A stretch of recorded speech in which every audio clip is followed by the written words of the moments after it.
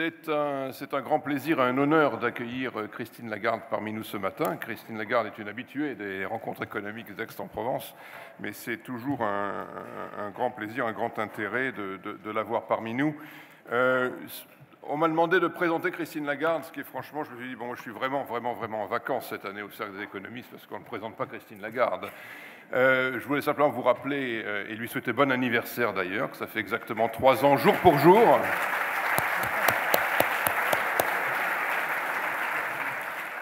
Qu'elle est devenue euh, directeur général du Fonds monétaire international après une carrière euh, de, ministre, à la fois comme ministre délégué au commerce extérieur entre 2005 et 2007, puis ministre de l'économie, des finances et de l'industrie entre 2007 et 2011.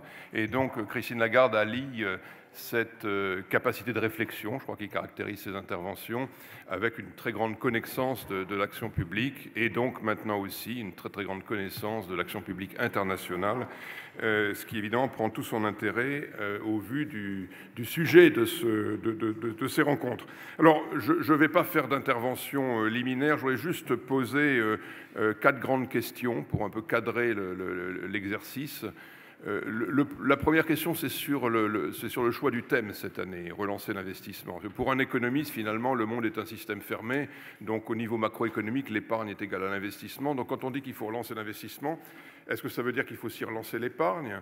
Or, on a aussi un diagnostic, un diagnostic d'excès d'épargne. Donc c'est assez intéressant parce que dans ces rencontres, on parle d'insuffisance de l'investissement, mais on parle aussi d'excès d'épargne. Qui suggère qu'on est, plutôt, euh, on est plutôt préoccupé par l'allocation de l'épargne. On considère qu'elle ne va pas au bon endroit. Alors, qui est on? Est-ce qu'on a la légitimité de considérer que l'épargne euh, ne va pas au bon endroit? C'est une question intéressante. Les marchés ont peut-être raison, finalement. Mais si on s'intéresse à l'allocation de l'épargne, vers quoi voudrait-on qu'elle aille? Vers des investissements profitables?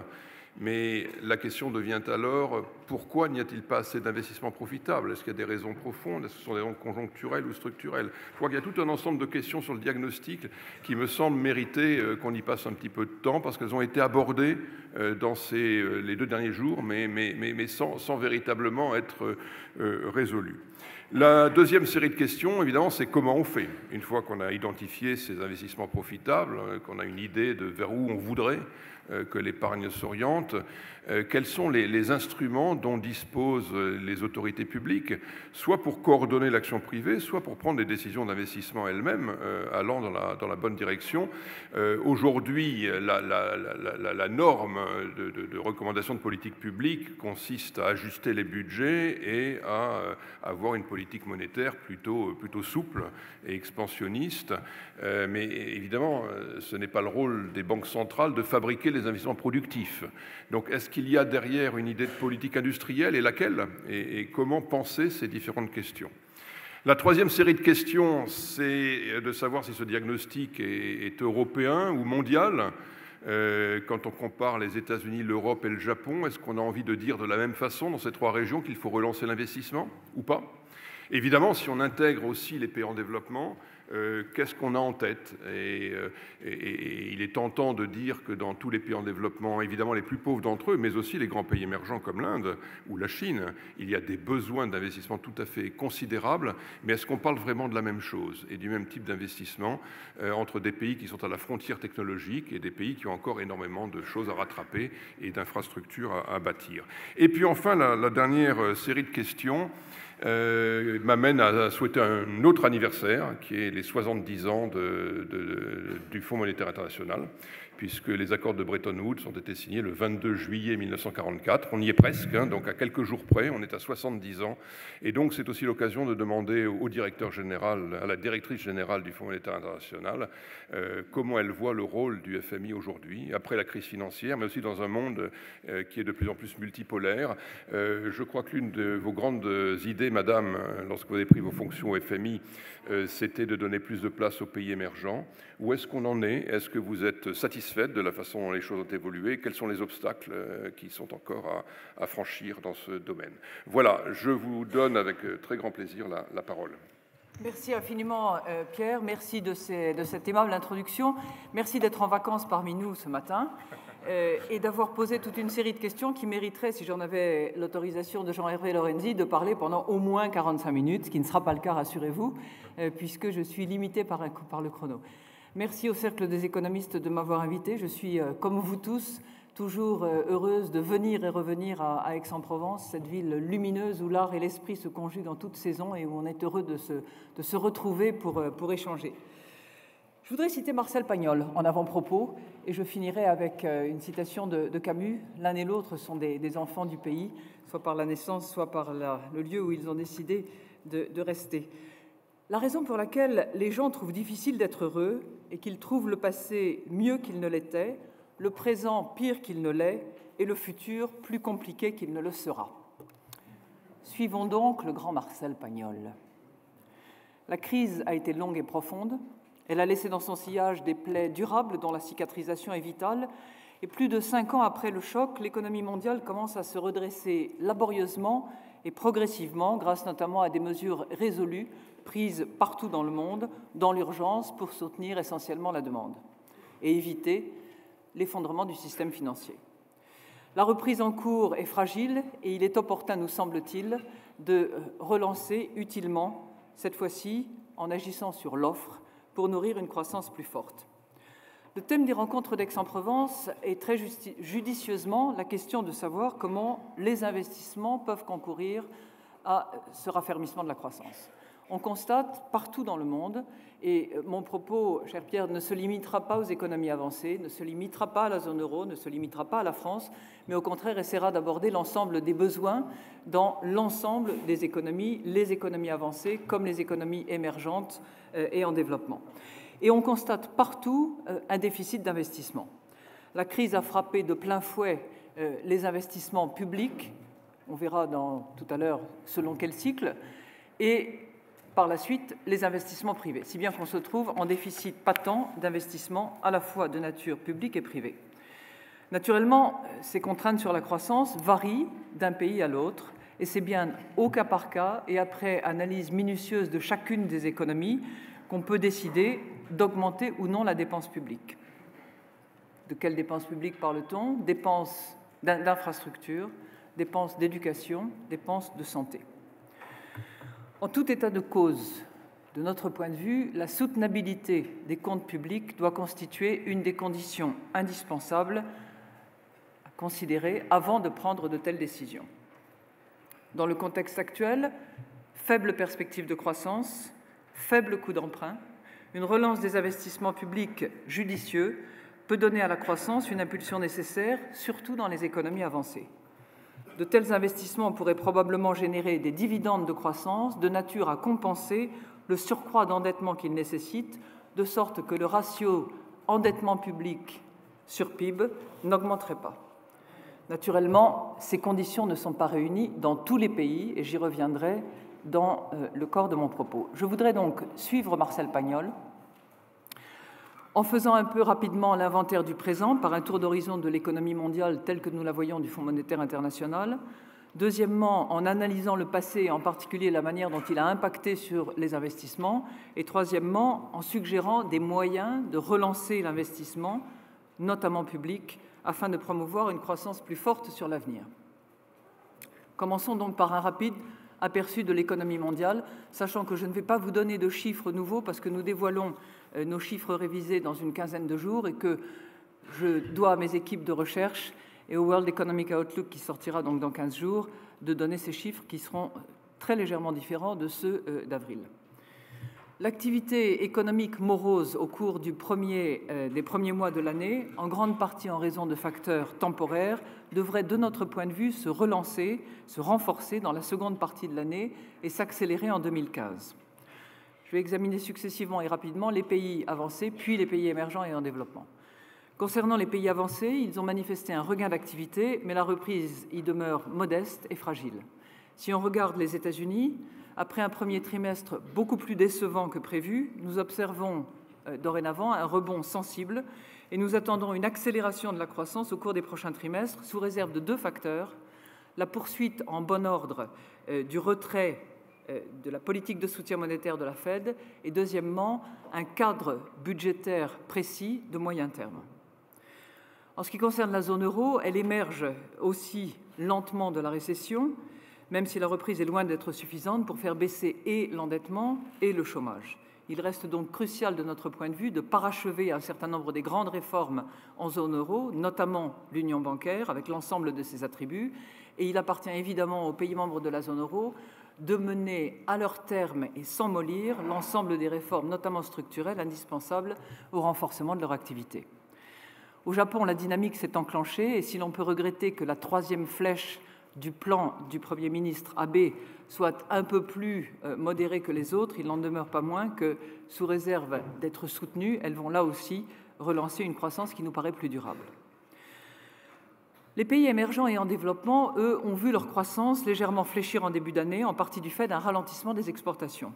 Ces pays continueront néanmoins à assurer l'essentiel de la croissance mondiale, quoiqu'à un rythme plus lent qu'auparavant. Si on regarde les pays émergents d'Asie, et en particulier la Chine, on peut être rassuré, en tout cas de notre point de vue, de ce que nous ne voyons pas en tout cas un atterrissage brutal, mais un léger ralentissement d'une croissance devenue plus qualitative et plus soutenable que nous considérons pour 2014, variant quelque part entre 7 et 7,5% Deuxième grande zone émergente contribuant considérablement à la croissance mondiale, c'est l'Afrique subsaharienne, où les taux de croissance rivalisent avec les taux euh, des pays émergents d'Asie, autour de 5 euh, et où, sous réserve que la dette euh, soit contenue et sous réserve des risques liés au rétrécissement des marges budgétaires qui ont été utilisées pendant la crise, ce rythme de croissance à 5% devrait continuer là aussi à soutenir la croissance mondiale. Voilà pour ce qui concerne l'horizon euh, de court terme. Trois risques majeurs que nous voyons sur, l'horizon de la croissance mondiale. Premier risque, celui qui affecte en particulier les pays des économies avancées, mais notamment plus particulièrement celui de la zone euro, c'est celui d'une inflation basse et durable. Et de ce point de vue, nous nous réjouissons que la Banque centrale européenne ait pris un certain nombre de mesures et soit prête à en prendre d'autres si cette inflation basse ou lowflation, si on veut s'amuser à contracter les, les termes de manière parfaitement impropre, se poursuivait pour éviter donc euh, les effets sur euh, cette reprise naissante qu'il convient d'encourager. Deuxième risque, bien sûr, c'est celui du risque de volatilité résurgente lié à la normalisation de la politique euh, monétaire américaine. Et il est essentiel de notre point de vue que les banques centrales, à la fois des pays avancés et des économies émergentes, poursuivent la communication qu'elles ont entamée et que les pays émergents poursuivent, eux, le renforcement de leurs fondamentaux, puisqu'on s'aperçoit à l'examen de la période mai à août 2013 que ce sont les pays dont les fondamentaux étaient les plus faibles qui ont subi le contre-coup euh, du risque correspondant à l'annonce éventuelle euh, d'un retrait de la politique monétaire. Troisième risque, c'est le risque plus large qui est lié à la cicatrisation lente d'un certain nombre des plaies liées à la crise, notamment le taux d'endettement élevé de nombreux pays, la nécessité de poursuivre jusqu'à leur terme les réformes euh, dans le système financier et, question naturellement beaucoup plus préoccupante pour un certain nombre de pays, le maintien d'un chômage élevé, en particulier en ce qui concerne les jeunes. Alors, outre ces trois grands aléas, il y a évidemment l'ensemble des risques géopolitiques auxquels nous pensons tous, euh, qu'il s'agisse de, euh, l'Ukraine, qu'il s'agisse de la mer de Chine, qu'il s'agisse des pays du Moyen-Orient, de l'ensemble du, pourtour. Euh, évidemment, ce sont des, menaces qui pèsent sur, sur l'activité. On considère néanmoins globalement que l'activité mondiale prend de l'élan, mais que l'impulsion pourrait être moins forte que nous ne l'avions prévu, car la croissance potentielle est plus faible et l'investissement sujet fort judicieusement choisi par le cercle des économistes, reste atone. Voilà ce qui m'amène à mon deuxième point. Quelle a été l'incidence de la crise sur les investissements dans le monde? Elle a pesé évidemment durablement sur la croissance des investissements qui reste très inférieure à leur niveau tendanciel de long terme. D'après nos estimations, à la fin de l'année dernière, le PIB global du G20 était inférieur de 8% à ce qu'il aurait dû être en extrapolation des tendances. Les investissements, quant à eux, se situent à peu près 20% en dessous de leur niveau tendanciel. Et dans une large mesure, si les investissements ont fléchi, c'est peut-être un peu en raison des effets de la réglementation financière, peut-être en raison d'un certain nombre d'autres facteurs, mais, essentiellement parce que la demande était faible. Mais d'autres facteurs sont aussi à l'œuvre. L'investissement a en effet reculé dans trois secteurs clés au cours de la crise. Il y a d'abord eu une diminution euh, des investissements des entreprises, en particulier dans la zone euro, après la crise des dettes souveraines de 2011, où le désendettement des sociétés et les contraintes euh, financières sont devenues des difficultés majeures. Deuxièmement, les investissements dans le logement ont chuté vraiment à pic pendant la crise dans un certain nombre de pays.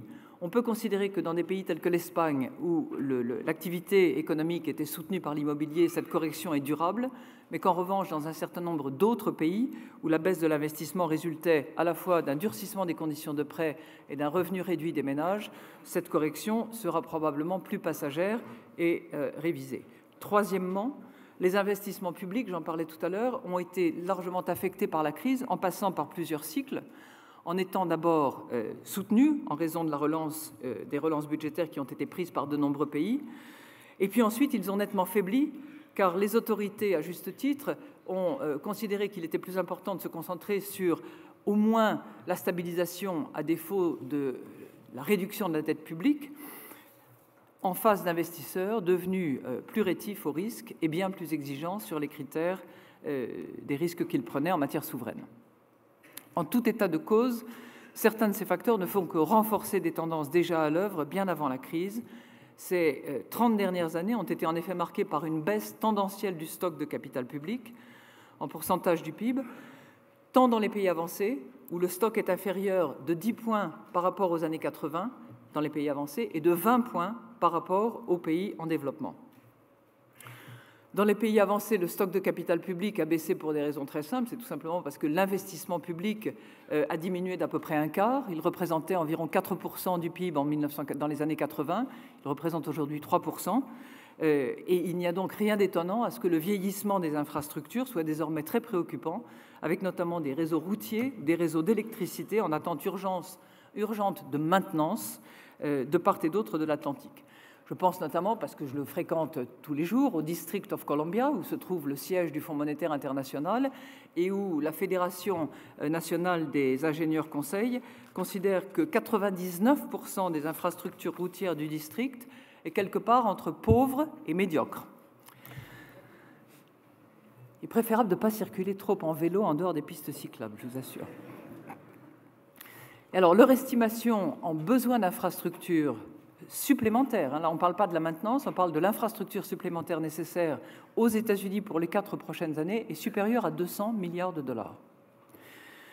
Dans les pays en développement, la montée des investissements publics observés ces dernières années a permis, elle, de stopper la baisse du stock de capital public, mais n'a pas été suffisante pour la faire augmenter le déficit d'infrastructures constitue un handicap majeur pour la croissance dans de nombreux pays où la croissance démographique, l'urbanisation et l'élévation du niveau de vie avec la création euh, de classes moyennes alimentent une demande d'infrastructures. Je pense à des pays, Pierre, que vous connaissez bien, comme l'Inde par exemple, où plus de 300 millions d'Indiens aujourd'hui n'ont pas accès à l'électricité.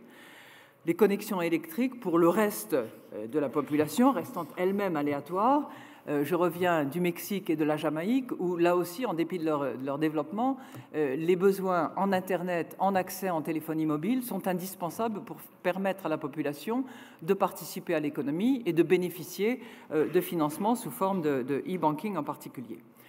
Alors, il ne faut pas traiter tous les pays émergents de la même façon, parce que par exemple, un pays comme la Chine, qui a massivement investi en infrastructure, euh, lui euh, peut certainement euh, affiner sa politique d'investissement en, infrastructure pour en réduire le niveau, mais aussi pour en améliorer l'efficacité et la distribution géographique. Donc c'est pour ça que nous disons que c'est une analyse au cas par cas, économie par économie, et en fonction d'un certain nombre de politiques d'investissement qui avaient été menées préalablement.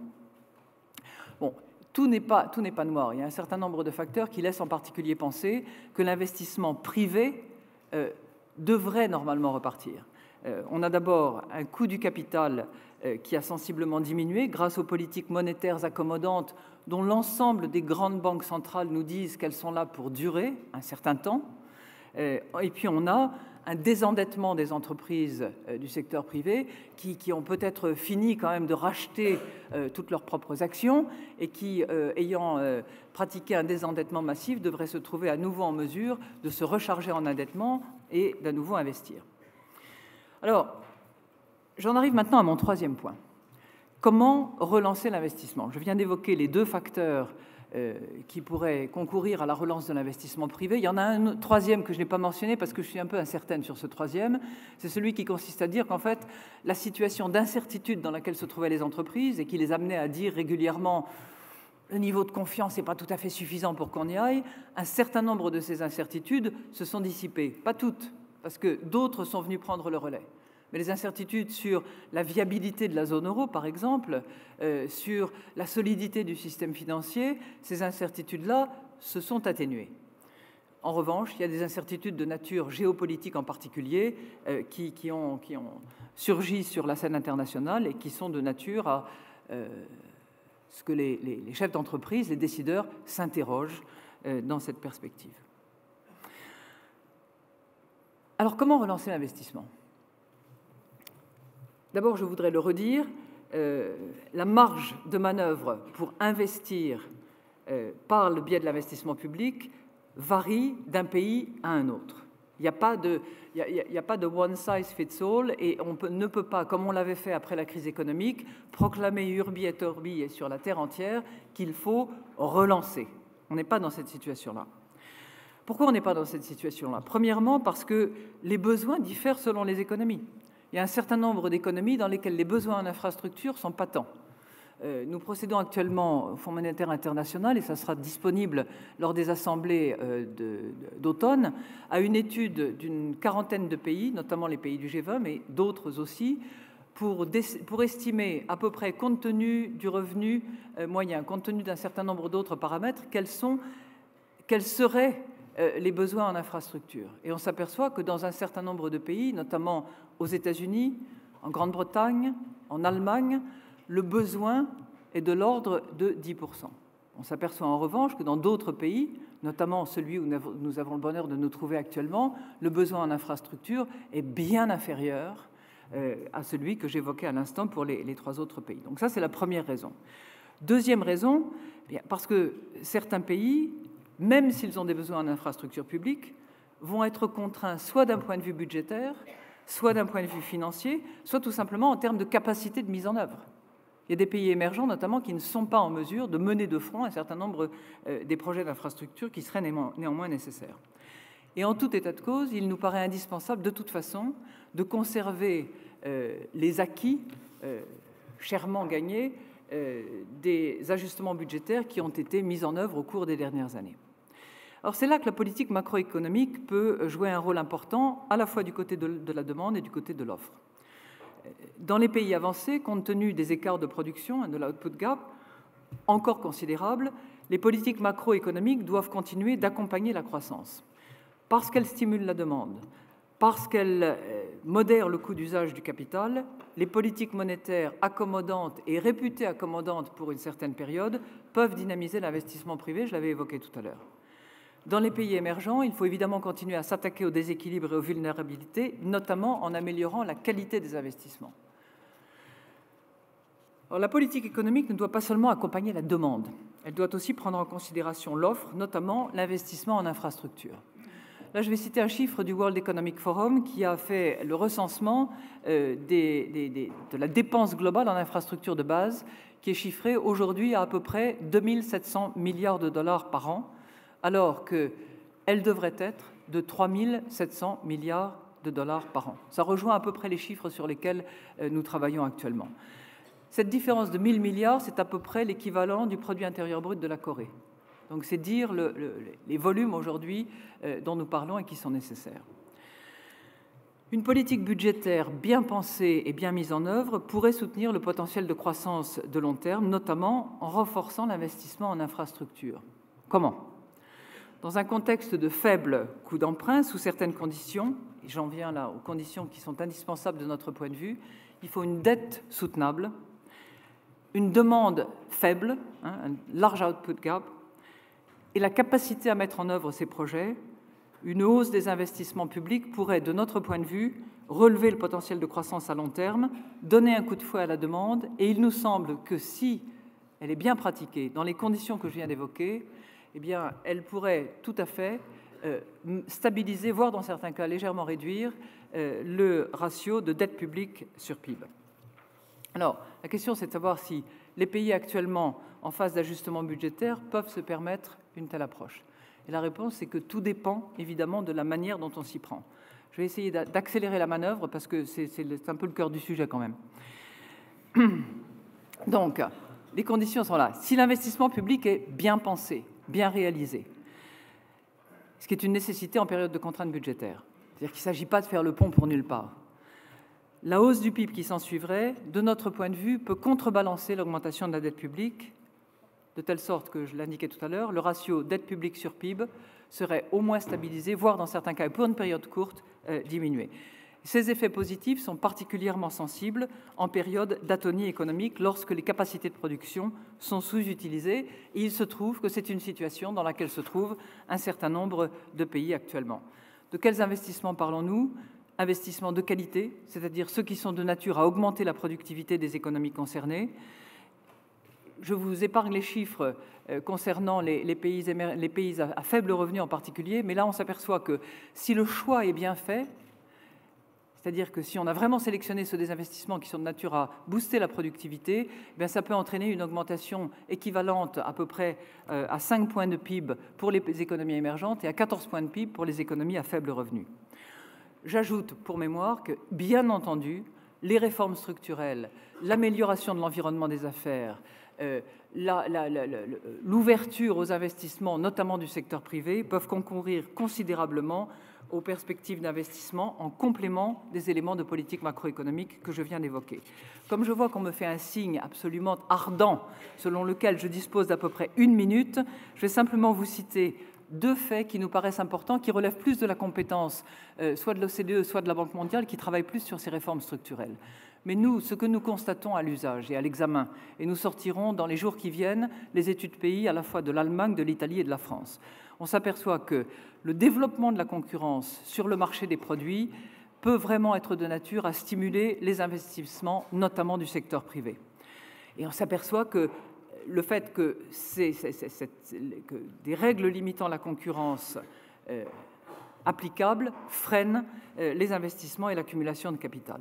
Deuxième point qui nous paraît évidemment important aussi, c'est qu'il faut continuer, euh, pour, encourager le financement des infrastructures, à développer, à consolider les partenariats publics-privés et l'utilisation des marchés locaux de capitaux afin de concourir au financement euh, de ceux des projets qui sont identifiés comme bancables. Conclusion. Malgré les ripostes à la, crise massive et sans précédent des cinq dernières années, on s'aperçoit que la reprise est modérée, laborieuse, fragile, et que les mesures de soutien à la demande, malgré la bonne volonté des banques centrales, trouveront leurs limites. Donc il faut évidemment renforcer de notre point de vue les capacités d'offre afin de muscler la reprise. L'occasion de notre point de vue se présente et il faut la saisir dans un certain nombre de pays euh, pour relancer les investissements et la croissance sans pour autant menacer la viabilité des finances publiques. Nous publierons donc dès le mois d'octobre, au moment des assemblées euh, annuelles du Fonds monétaire et de la Banque mondiale, un certain nombre d'études très précises sur une quarantaine de pays. J'en profite pour vous dire que le Fonds monétaire international se porte bien, que je pense qu'il euh, est toujours utile, euh, qu'il célèbre avec joie et dans la bonne humeur ses 70 ans. Nous sommes bien occupés, nous avons encore de multiples programmes de financement en place, une activité en matière d'assistance technique qui euh, a une croissance exponentielle et une activité en matière de surveillance à la fois bilatérale et multilatérale qui va se renforçant et dont je pense que nos, nos clients, c'est-à-dire les 188 États membres, sont contents. Je vous avais promis une citation de Camus que j'aime beaucoup et qui dit La vraie générosité envers l'avenir consiste à tout donner au présent. C'est ce que nous vous recommandons.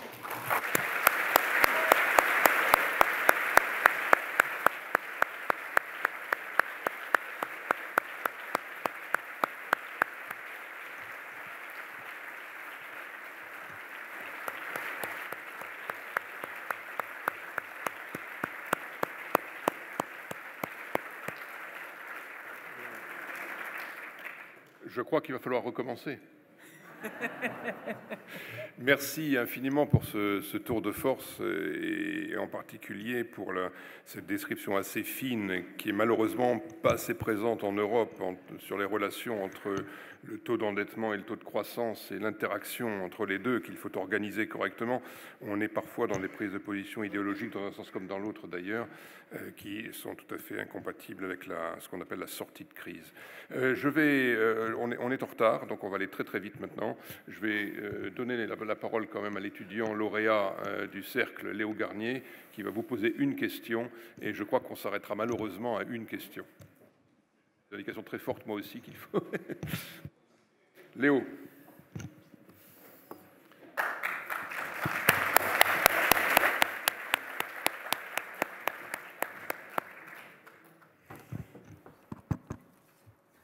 Bonjour Madame Lagarde. Bonjour. Euh, chers camarades étudiants et autres spectateurs. Je leur devais ce petit clin d'œil. Je leur devais ce petit clin d'œil. Euh, le monde actuel évolue à une vitesse croissante et les effets actuels des investissements sur l'économie du futur sont difficilement prévisibles. Ces rencontres économiques nous l'ont démontré. Euh, une erreur d'encadrement d'un multiplicateur, et c'est une politique économique et monétaire qui est fortement esquintée, je me dois de le rappeler, les FMI l'a expérimenté. Tous ces aléas pris en compte, je me demande, Madame Lagarde, sous quelles conditions nécessaires, spécifiques à chaque pays, l'investissement public peut-il être réalisé de façon positive sur l'économie? Et dans quelle mesure pouvez-vous tester la grille de conditions que vous allez nous exposer pour s'assurer qu'elle est fiable et qu'elle est suffisante de cette réussite économique?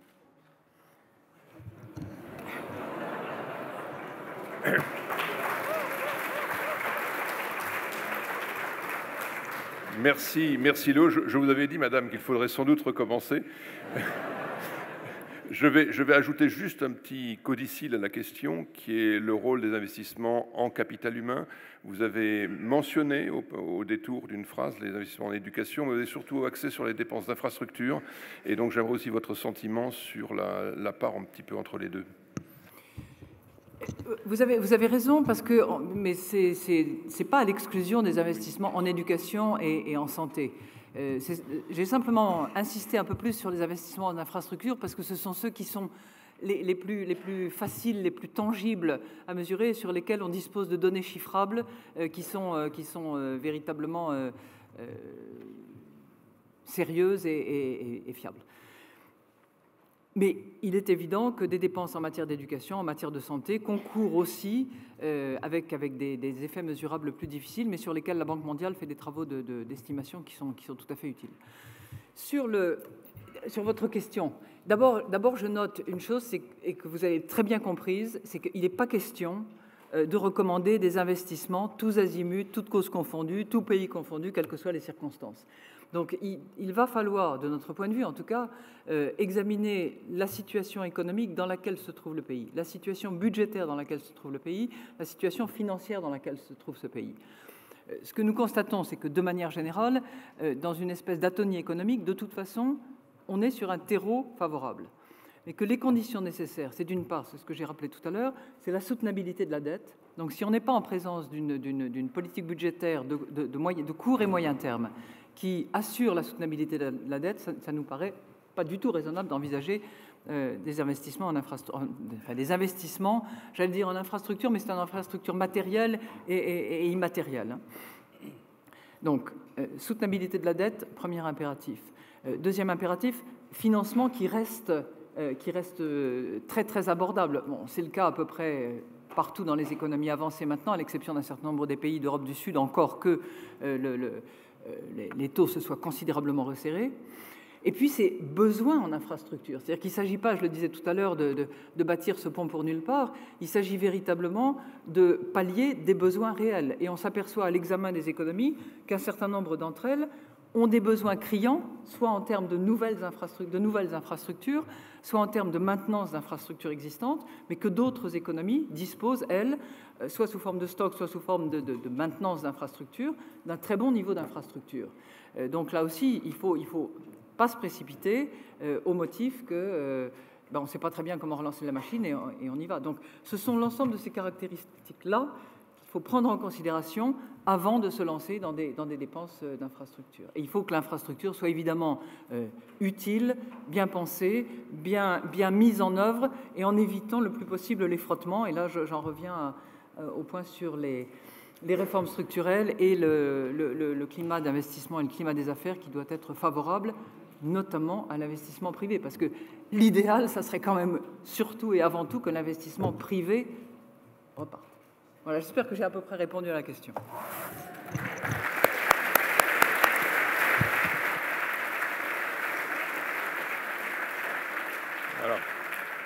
Bien, merci infiniment. Nous nous arrêtons là. je crois que la matinée n'aurait pas pu mieux commencer. Donc un grand merci à vous, madame.